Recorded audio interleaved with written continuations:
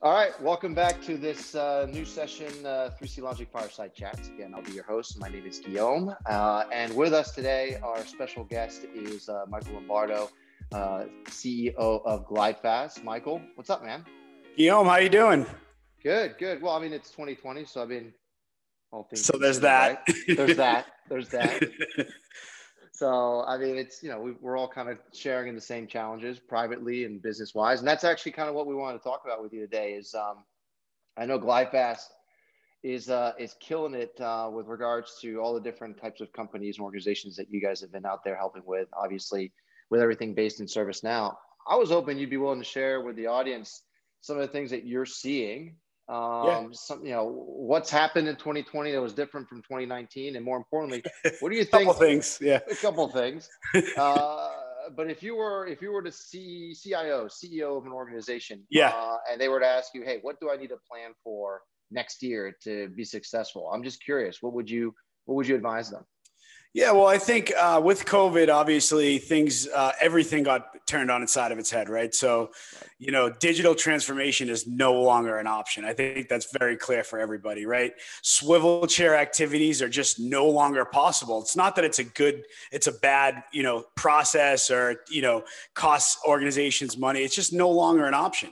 So I think, uh, you know, leveraging uh, platforms and tools to really help uh, you know, streamline customer service, employee service is going to be crucial, right? Automation around that is is absolutely crucial to success of this business. And it's no longer competing, it's really survival of these businesses, right? How can I serve my customers? You know, I, I, we're not in a call center anymore. We're uh, all my users, all my call center agents are dispersed across the whole US or world. Um, you know, uh, tribal knowledge is is no longer really a thing. We need we need to implement a knowledge base that has all of the information that my agents need to support our customers. We need right. uh, virtual agents to, to help streamline and and um, you know leverage that call deflection. We need to, we need to keep my customers off the phones as much as possible and on a self service platform. So I think uh, there's a lot there, but in and uh, I think a lot of organizations, like I said, got got turned on its head. But um, you know, this is America, and we're we're going to survive and, and thrive through this. Fair enough. And I mean, that's interesting. You brought up some uh, some interesting points. So I know I we recently um, had a chat with uh, Nitin, the head of uh, product strategy for CSM for ServiceNow. Yeah. And uh, I think you're kind of hitting on some similar points. He was saying, look, y- you need to get rid of of all of the mundane tasks, yeah. right? Um, yeah. And that's where automation can really excel, so that you can really reserve, um, you know, if and when someone needs to have a conversation in one form or another with your more valuable resources, whether it's the call center, the front office, the back office, or maybe the front office that needs to make sure that they can collaborate with the back office, that they're not tied down with those mundane tasks, right? So you lead yep. with the portal and virtual agent and AI, et cetera, et cetera. And it's more the diversification of, of resources. What are your thoughts about that?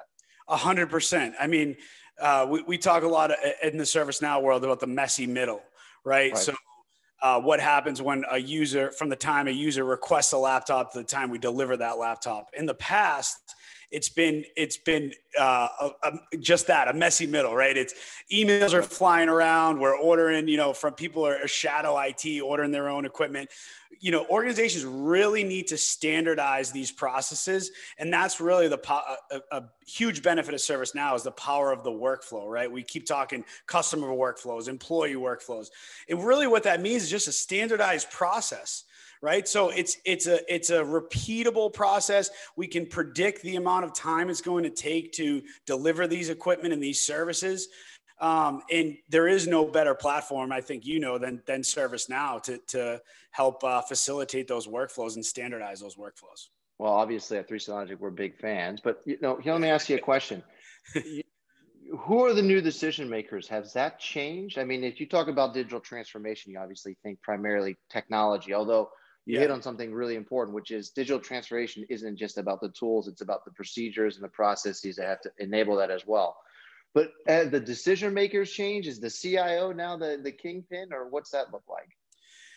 You know, I, I, uh, I, obviously the CIO is a big part of it, right? They own technology, but it, it's almost like uh, we're leveraging CIO as a broker now, right? Like ServiceNow, and, and again, my world is 100% ServiceNow, and right. And leveraging that to help organizations, you know, achieve maximum efficiency. But you know, really, CIO is being leveraged as a broker now, where um, you, you know, technology is really driving revenue for businesses now. It's no longer just this cost. You know, it was in the past has been viewed as a cost to organizations. You know, the information, yep. you know, the IT department's costing us money, and you know, but now it's no, no. This is we're helping support our customers here, right? We're we're supporting the call center agents that support our customers, and yep. so I really think it's yes, the CIO is is definitely uh, is typically the person where uh, starting these conversations with, but then uh, we're getting introduced to a- the leaders in the HR, leaders of the call center uh, departments,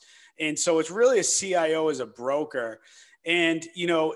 Uh, and, I, and I'll say this along the same lines is, you know, the the um, these implementations are you know the success of these implementations are very dependent on top-down leadership's buy-in. So if if mm-hmm. if uh, if we buy a new product, you know, if an organization buys a new product like a ServiceNow, and you know a lot of uh, employees are resistant to change right? They're stuck in their ways. They like pen and paper sometimes. They like emails. And yeah. you know if we're not getting the buy-in from leadership to say no no we're moving to a new platform. We're reinventing our processes. We're reinventing the way we deliver service to our employees and to our customers. If we don't have that top down buy-in then it, it all trickles down right? So it's, it's the same kind of mentality. Oh we don't really have to do that. We don't really have to. So so it is absolutely crucial to get the the buy-in from our uh, leaders at these organizations um, and make sure that that goes down to their management teams and so on. So, what are the biggest when you're talking about buy-in? And if I if yeah. I had to counter and say, okay, here are the main three hurdles that you have to overcome to get that buy-in. Yep. Um, what what are they, or what are there any? Is there anything that the customer has to do before they're in a position to even pursue this this digital transformation, you know, initiative, you know, momentum? I think a, a, heavy emphasis on process is really important, right? Like, uh, obviously, no platform or technology is just going to magically fix, uh, you know, challenges or difficulties organizations have. So, uh, you know, an upfront emphasis on process evaluation, walking through what what it is they do today, what technologies they have to do today, where we can consolidate, right? I mean, mm-hmm. one thing I love about 3C Logic is, is it's it's really basically in the ServiceNow platform. It's a part of ServiceNow. It's not real. We're not swivel chairing to another screen, to another system. We're let, you know, so, you know, those type of things I think are really important. Um, sorry, did that answer your question? No, it did. But actually that leads to another though. So yeah. you're actually talking about consolidation of platforms. I mean, look, yeah. I don't think the world needs another platform. Yeah. Yeah. Um, it doesn't need another CRM. So do you think that 2021 I mean, I think I saw some statistics. It's nuts. Some organizations like they average a couple hundred platforms per employee. Uh, as yeah. an employee, you can't manage that. It's nuts. Um, so, you know, I think um, uh, before Bill McDermott, uh, you know, they, the message was that you know, the ServiceNow is one of the five platforms. It's it and maybe SAP and Dynamics, Salesforce, take your pick.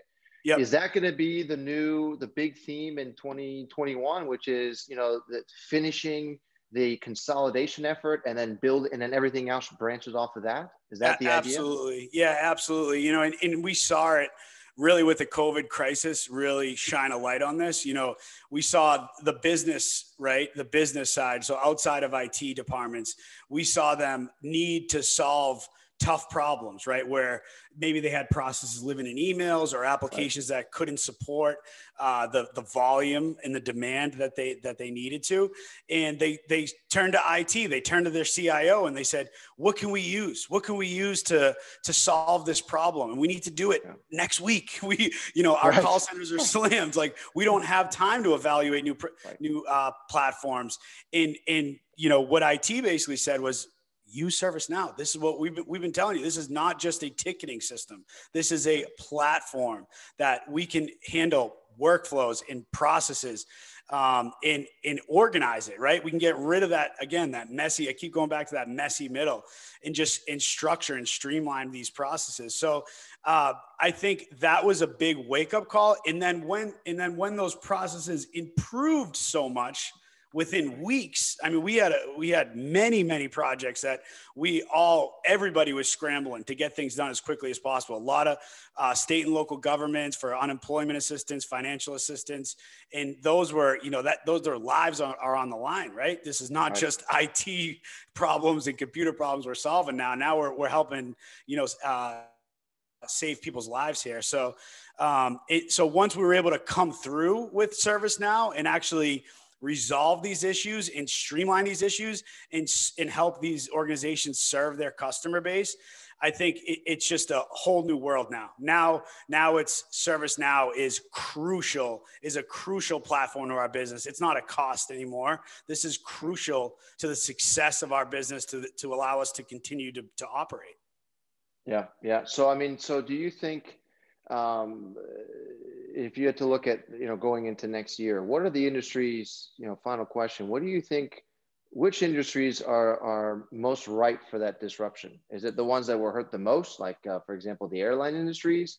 Or I mean, what, what are your thoughts there? I mean, you you you. Yeah. I know at GlideFast, you guys have done everything from state, local, private. We're everywhere. Yeah, you're everywhere, right? So, which industry do you think, or industries do you think stand, you know, uh, stand to have the best or most opportunity for for for growth or or impact with digital transformation if they do it right. you know it's it's really any organization that serves customers and has employees really you know that that that have processes. So it's really going to be across multiple industries.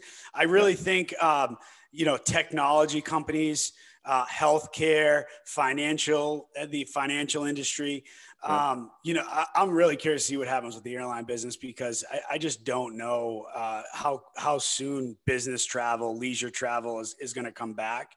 Yep, um, so you know, I, or, the, or the hotel industry for that matter, or, the hotel industry, it, right? It's yep. it's it's it's, uh, it's really you know it's really difficult to predict, and um, obviously we're all praying to for for this economy and in, in you know uh, pandemic to to fade away, but you know yeah, I, I think really it's just there's the opportunities are just unlimited because I think we've been able to get away with not having to, you know, get up to speed with digital transformation and make some of these changes and use legacy systems and, and like that opportunity is is no longer there. Like it's just not an option anymore. Like I said, so um, yeah, I think I think healthcare is going to be really really big. Um, uh, that's my background, and I've I've always believed uh, for a long time that healthcare could definitely get up to you know is a little bit behind in the times for technology and in, in, servicing their customers um, or patients, should I say? But uh, yeah, no, I think across the board, I think uh, you know uh, leaders have woke up. I think they've seen the value, and I think we're just gonna it's gonna scale across the entire business and in in I we'll, we'll be talking next year and then the year after. Like, remember when ServiceNow was just considered an IT platform? You know, right, right. I think it's just going to be a whole new world.